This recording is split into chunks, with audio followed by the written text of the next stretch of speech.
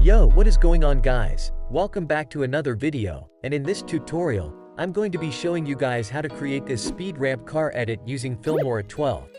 This is so simple to create, so let's jump into Filmora and get started.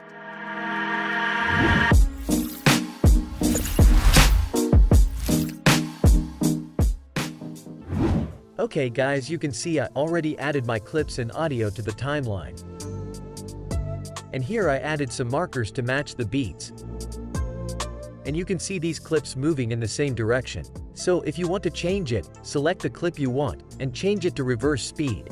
So I like to create this edit moving in the same direction, so I keep it default.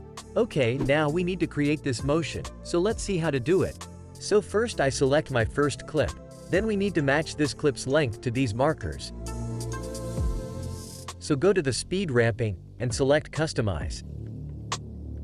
Then select the speed graph, bring the start point to up, and also the end point. Then bring to little bit down this middle point like this.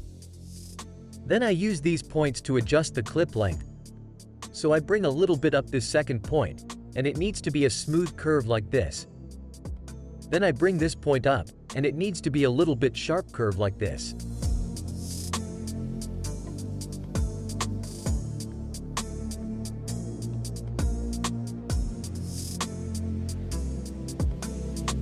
Okay, I take my second clip, and I add the same speed graph to this.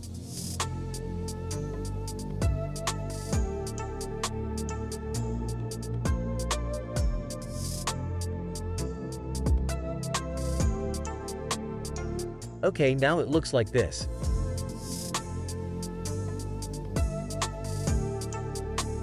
So now we need to apply this speed ramping to other clips too. So here I apply the speed ramping to my all other clips. So now I like to add some blur between these clips. It gives a smooth look when switching to the next clip. So go to the Effects tab, select Video Effect, select Basic, then select Direction Blur and add it to the timeline. Then I get 10 frames long part of this layer. And I change the direction to 90 degrees, and blur length to 0, and create a keyframe. Then go to the middle of this layer, and change the blur to something 20, then go to the few seconds forward, and change this to 0, and also drag this keyframe to the end like this. Okay, then I apply this blur effect to my other clips too.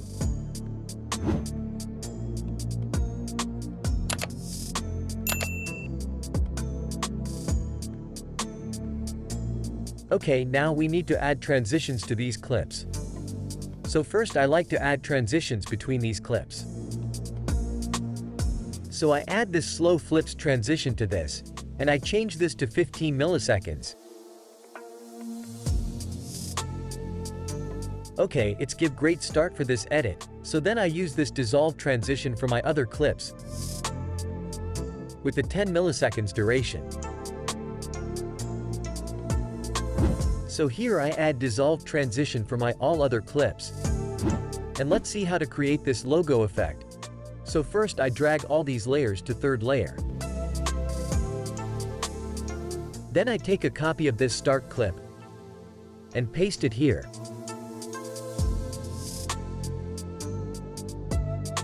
Then I add my logo to the second layer.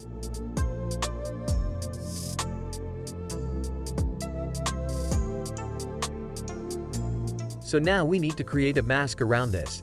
So I select this layer, select the pen tool, and draw the mask like this.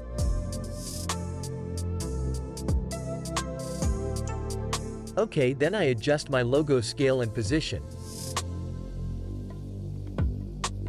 After that track our mask using keyframes like this.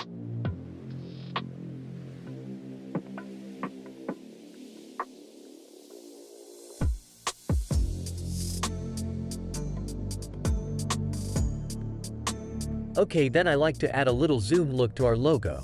So I create a keyframe on start, then go to the end, and change the scale to something like 90.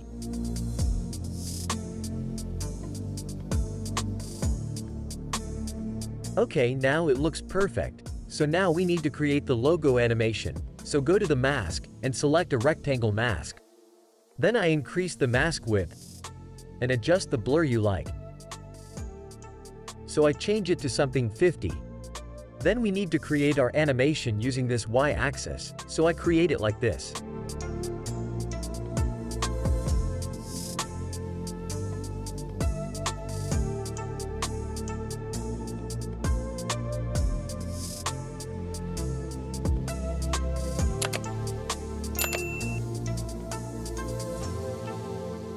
Okay guys our logo animation is done. So now we need to add this color grading effect. So let's see how to do it. So first we need to add an adjustment layer.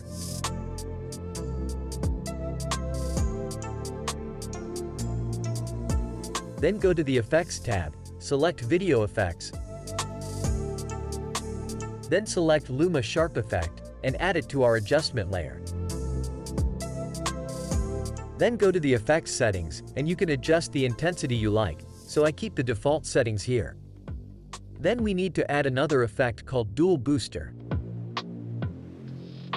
So I add it to this adjustment layer.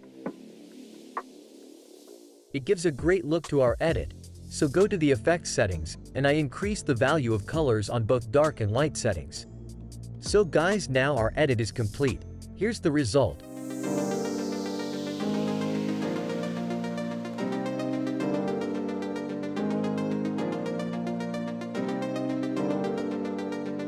Also finally I recommend using the RSMB effect on After Effects. It gives a super smooth look for your edits, so I will bring a quick video about that soon. So that's pretty much it guys, thanks for watching this tutorial. I hope you enjoy this, and please leave a like this video and be sure to subscribe to my channel, and leave a comment about this video, and what tutorial you like next, so let's meet up the next video. Take care and peace.